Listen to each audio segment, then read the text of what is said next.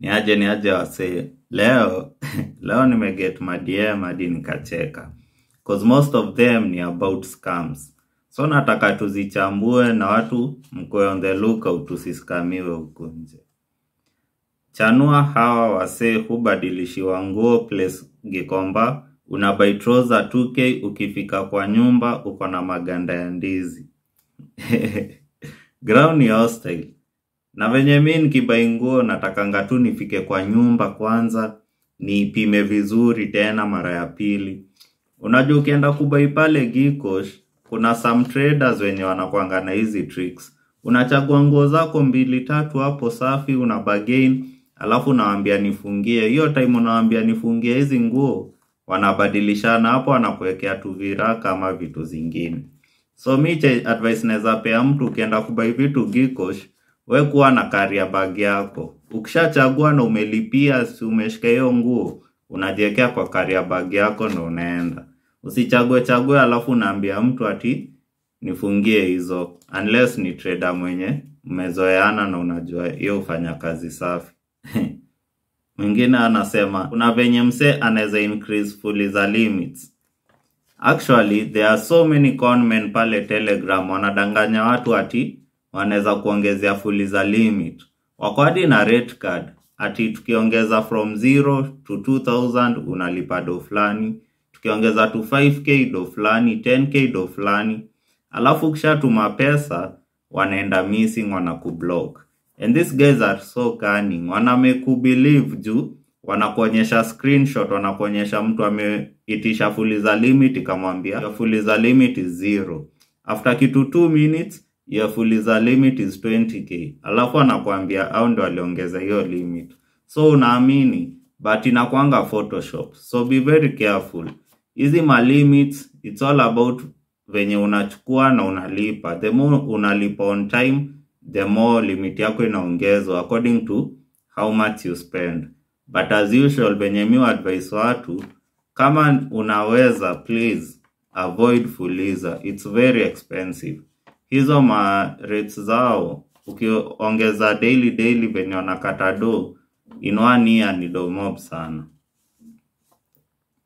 Another text na hii game ya kuspin watu wanasema wameomoka nayo, ni ukweli.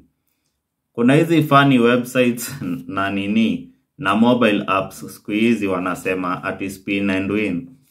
Una spin hapo unaweka do alafu ati una win. Hizo vitu hauwezi win. You know, hizo vitu ziko programmed. Kitu iko programmed hauwezi beat with the human mind. Cause wewe una un, it's like you're betting, una bet na emotions, una bet yani there are so many things involved. Na ile ni hesabu, pure maths. Hawezi beat hiyo computer. Na hawa watu wanaskam watu wengi sana juu occasionally they let someone win a good amount of money. Huo mtu ataenda atangaze venye amewindo fulani, lakini ukihesabu ile time unaweka so unaweka so mbili hapo ndani, in the long run unaona wende unapoteza pesa yako. Ni aje Luthuli wanaibia watu, they tell you Samsung flat 55 inch ni 29k. After you have paid non-refundable, they tell you to add 35k because the TV is not free to air. Pale Luthuli kuna two types of traders. Kuna wale traders legit na wakora. So you have to be very careful. If possible, enda kwa trader umekuwa recommended based yako na show nilibai kwa huu trader fulani anakwanga mzuri. And most of the legit traders hapo Luthuli wanakwanga the Somali traders. Hawa wanakwanga legit. Lakini ukienda place tena usiende kununua TV kama hauna pesa ya kutosha. Hiyo ndo the number one reason utakuwa scammed. Cause hakuna venye Samsung 55 inch itatoka 29k. Hiyo ndo red flag ya kwanza, ungejua hawa watu wanataka kukuscam. And the bad thing about hapo, utaskamiwa na hakuna place utapeleka hawa watu. Hata ukienda kwa cops, there's nothing they'll do. So always be very careful. Kama unaona itakuwa ngumu wewe kudetermine the legit and the conman, enda tu kwa supermarket ama shop ya Samsung. Address hii ishu ya radio gambling wanashinda wakisema tuma mia tuma so mbili then they choose one person randomly randomly to give away 100 to 300k hii issue imekuwa ishu kubwa sana especially kwa wale parents wako ocha wanapenda kusikiza those vernacular radio stations wanaskamiwa vibaya sana.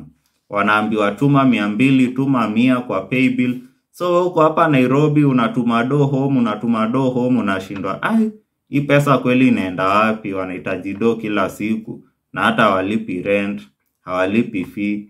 Kumbe ni paybill wanatuma do hapo kila siku juu anaambiwa leo kuna mshindi kesho kuna mshindi. So hata yeye anaona the more anatuma the more ako na high chances za kuwa mshindi. Hizi vitu ni scam. Please chanueni ya old fox pale nyumbani cause wanapoteza domo una imagine mtu akituma hii kitu like 8 times in one day na ni so mbili so mbili so mbili. Hiyo ni 1600 kesho tena atume the same. In one month unadhani huo mtu atakuwa ametuma do ngapi in one year atakuwa ametuma do ngapi na hata why win. So you need to be very careful and we need to spread awareness